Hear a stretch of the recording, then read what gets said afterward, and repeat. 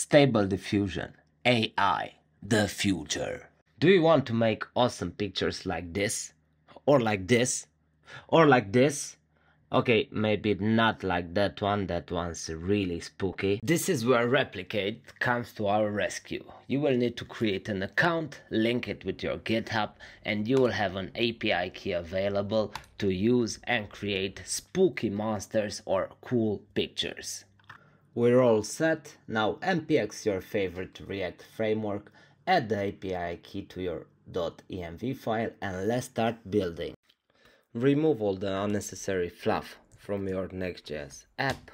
Now let's add a form with the display of flex, direction column, gap 4, add a text area with the label of prompt, add an input type number with the label for seed and then the add an input type number with a label for guidance scale. Finally, add a submit button and make it pretty, just like you. The prompt is the actual instruction that we provide to our stable diffusion model so we can generate an image. Seed is a random number used to initialize the stable diffusion model. You can leave the number blank for complete randomness, or you can use a constant number if you want to get the same image style.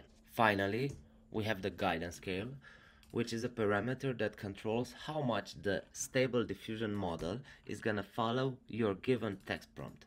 So a small guidance scale is gonna be very creative, while a big guidance scale is going to follow your instructions to the T. Let's create now a folder in the API directory called prediction and add two files. One index, index that's gonna start our generation and one with the ID that's gonna tell us the status of our generation. We need to declare the async handler, destructure the prompt, guidance scale and seed from the body.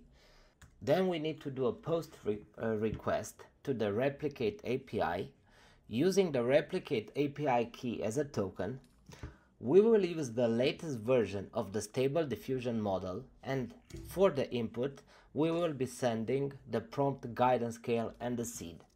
We need to check if the status is valid. If not, then we're gonna return an error.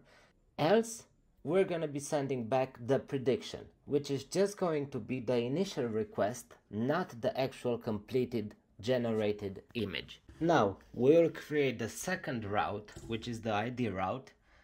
We first need to declare the handler, hit the replicate API with our newly generated prediction ID, send the authorization token, which is our replicate API key into the header, check for errors and send our errors back if any.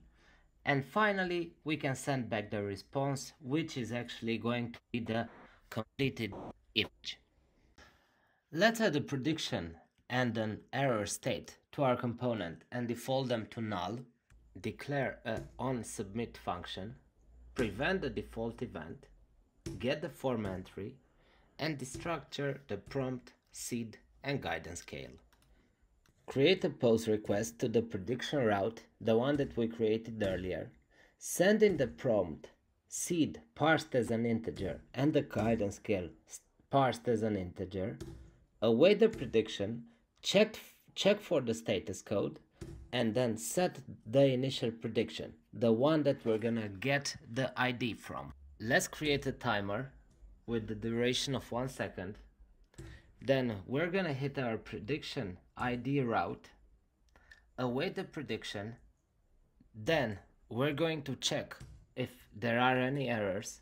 If there aren't, we're going to set the prediction and when the prediction status is succeeded, we're gonna clear the interval, so we're gonna stop the, the timer from running. Finally, add the onSubmit button on the form and we're good to go. Config file. You need to add replicate and replicate delivery as images domain, as they are needed to allow the image source coming from external sources. Now, if there is a prediction, let's render out a div which is going to contain the status of the prediction. And if the prediction has an output, it means the prediction has finished and then we should render the image. Now, let's test out the model and see how it works.